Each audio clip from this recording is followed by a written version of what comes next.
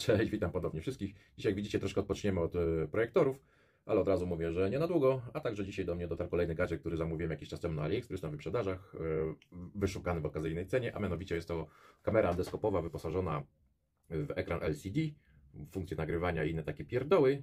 I ciekawostką jest to, że ta kamera jest wyposażona- w dwa obiektywy na tej sondzie, jedna jest obrócona o 90 stopni, a druga o 180. Czyli jedna zbiera obraz na wprost, a druga pod kątem prostym. To akurat mnie zaciekawiło, bo nie, nie siedzę w temacie kamer endoskopowych, mam tako, takie coś, które się podłącza pod telefon, ale to mnie zaciekawiło, że jestem gadzieciarzem, to mówię, za, skorzystam. 86 zł to nie jest majątek. I chciałem Was właśnie zaprosić na mój test konsumencki. Sprawdźmy, co to, ile to jest warte. A tak się prezentuje po rozpakowaniu nasze urządzonko. Zestaw jest standardowy oczywiście, jednostka główna z wyświetlaczem. Tutaj mamy instrukcję obsługi i tam dostajemy taki zestawik jak w innych kamerach, coś takiego na przykład, nie? Magnesik, lustereczko, jakiś tam haczyk, żeby coś wyciągnąć z trudno dostępnych miejsc. No i oczywiście kamerę. A o dziwo kamera jest podłączana przez USB. I co jeszcze ciekawsze, bo podłączyłem przez taką przejściówkę do telefonu i wcale ta kamera nie potrzebuje tego urządzenia, żeby działać i na telefonie też się wyświetla. Jedyny minus, że nie możemy sterować podświetleniem, ani zmienić e, kamery na boczną. No chyba, że będziemy mieli jakieś e, oprogramowanie takie, które pozwoli z telefonu sterować tym. Czyli te, można, możemy sobie podłączyć przez taką przejścióweczkę e, C i tutaj USB i to też będzie działało bez tego na telefonie. A samo urządzenie raczej robi wrażenie, że jest tej półki ekonomicznej, chociaż mnie to w ogóle nie mierdzi, bo ono ma działać, a nie wyglądać jak z kosmosu. Tutaj mamy wejście na kartę SD, według producenta obsługuje do 128 MB, ja włożyłem 32 i port ładowania USB typu C, bo tutaj nie ma baterii, tylko jest po prostu akumulatorek w środku. Także tak się prezentuje, nie ma się co rozczulać, włączmy i zobaczmy, co, jakie tam funkcje w środku drzemią. I zróbmy sobie pierwsze uruchomienie. Przytrzymamy. Welcome. Całkiem fajnie. Kamerę ustawiłem, jak widzicie, na siebie. I zaczniemy, w, co my tu mamy od góry. Tutaj mamy trzy poziomy podświetlenia LED. I tak, to jest wyłączona. Pierwszy, drugi, trzeci. Yy, co tu mamy dalej? Tutaj mamy funkcję nagrywania i robienia zdjęć, czyli szybkie naciśnięcie to robi nam zdjęcie, a przytrzymanie nagrywa jakiś tam klip. Ja nagram parę sekund, żebyśmy mogli go od razu przejrzeć. Jeszcze raz wyłączamy M, czyli media. Możemy wejść i sprawdzić, cośmy sobie nagrali. Tu jak widzicie mam zdjęcie, czyli 2 mega HD, nie wiem co to oznacza. I najlepsze jest tutaj filmik, tam go włącz, że jest 1080 Full HD. W co troszkę wątpię, ale mniejsza z tym. Nie oszukujmy się, że to jest Full HD. No dalej, wychodzimy z mediów. Tutaj mamy lupkę, czyli możemy trzykrotnie powiększyć. Niestety jest to powiększenie cyfrowe. Tutaj jeszcze możemy obrócić obraz, jak robimy w jakiejś niewygodnej pozycji, a chcemy sobie e, nie kręcić samym urządzeniem, tylko obraz przekręcić. E, tutaj mamy ustawienia, gdzie możemy wejść w resolution. Jak widzicie mamy 2,1,3 megapiksela. Nie wiem dlaczego akurat 2 megapiksele tu u nich jest e, rozdzielczość Full HD, ale mniejsza z tym. Wychodzimy, języka polskiego nie ma. Jasność wyświetlacza, wyłączanie automatyczne, memory, format. Ja to akurat 32 wsadziłem, a niby producent deklaruje, że 128 obsługuje. Chociaż nie wiem, czy komukolwiek by było tak długo, tak wielka karta by była potrzebna. Ok, wychodzimy z tego, co my tu jeszcze mamy. Aha, i tu jest ta ciekawa funkcja, że możemy się przełączyć na kamerę boczną, czyli tą skierowaną o 90 stopni. To trochę trwa. Jak widzicie, ona też ma swoje oświetlenie i też jest sterowane e, przez potrójne kliknięcie. Obraz nie wiem, czy jest taki sam.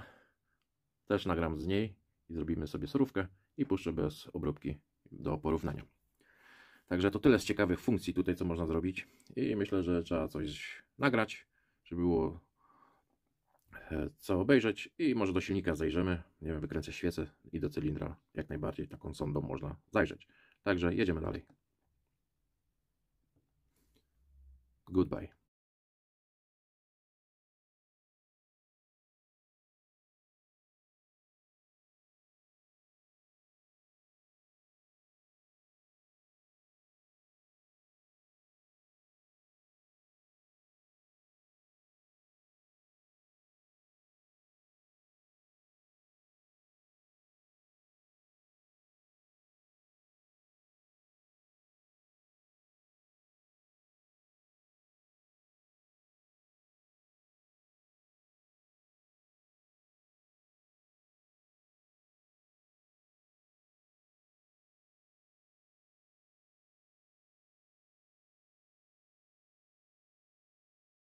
Ok, teraz teścik w terenie. Zajrzymy do mojego potwora. Tutaj świecę wykręciłem.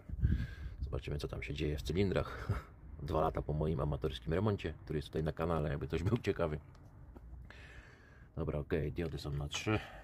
Mamy światło, kamera, że tak powiem, przednia. Jedziemy. Ciężko mi to będzie nagrywać. A ja zrobię też film i surówkę Wam włączę. A teraz tylko z telefonu będzie. Przepraszam za niemrawe ruchy, ale muszę jakoś to... O kurde. Głęboko. Jak widać cylinder od góry denko. No. Coś tam można zobaczyć, czy jest już urodzone, czy nie. I teraz przełączymy na kamerę boczną, bo to jest najciekawsze, jak dla mnie. Cyk, poczekamy. O. Dobra, to spróbuję. Gdzie my jesteśmy? O, wysoko. Zawory widać. Tu jeszcze ślady po moim honowaniu. Dwa lata. Ciężko tu perspektywę złapać. Jedziemy do dna. Tutaj widać denko tłoka. I tak obrócić też można. Zawory też można obejrzeć. Tylko mi akurat ciężko manewrować, bo jedną ręką trzymam telefon, a drugą próbuję tu coś wymodzić. Ale z tego co widzę na monitorze, to rozdzielczość jest wystarczająca, żeby zdiagnozować cokolwiek tutaj. Nie wiem, czy tak samo będziecie uważać. Ja mówię, zaraz to wyłączę, wezmę to bardziej w dwie łapy i nagram. I puszę wam surówkę tak jak to wygląda. Nie przez telefon, tylko jak to jest nagrane właśnie przez to urządzenie. Dobra, myślę, że nie ma co przedłużać. Jeszcze tylko przełączymy kamerę z powrotem na przednią. Na przednią. No i gdziekolwiek po prostu można zajrzeć gdzieś, kurde, nie wiem, śrubkę szukać czy coś. Rozdzielczość jak rozdzielczość, nie wygląda mi to na Full HD. Ale chyba do takich zastosowań jest wystarczająca. Dobra, ja to wyłączam, żeby nie przedłużać. Nagram film z wnętrza mojego potwora i zaraz się widzimy. Wyłączę i darka.